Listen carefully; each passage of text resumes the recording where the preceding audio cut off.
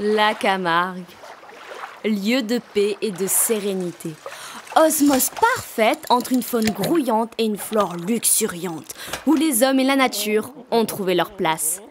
Ce petit paradis existe dans le domaine protégé de la réserve. C'est grâce au travail de nos trois pôles que sa conservation est possible.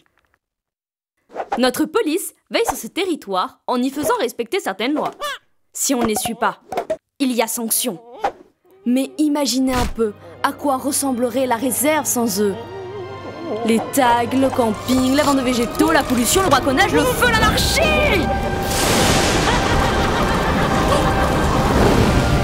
Euh, Excusez-moi.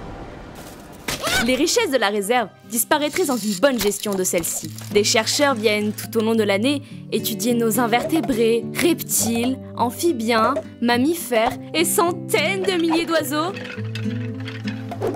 La salinité et la pureté de l'eau ont une influence directe sur la biodiversité.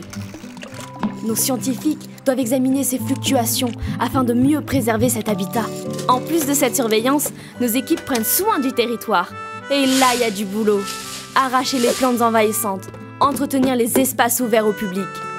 Difficile d'avoir les yeux et les bras partout. C'est pourquoi, pour nous aider, des chantiers bénévoles sont régulièrement proposés aux amoureux de la Camargue.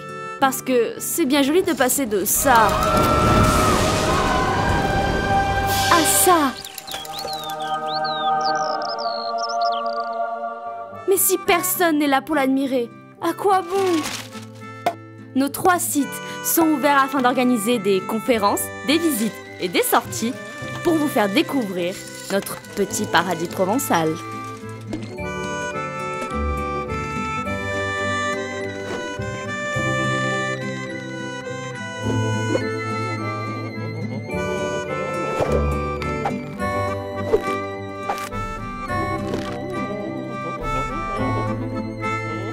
Thank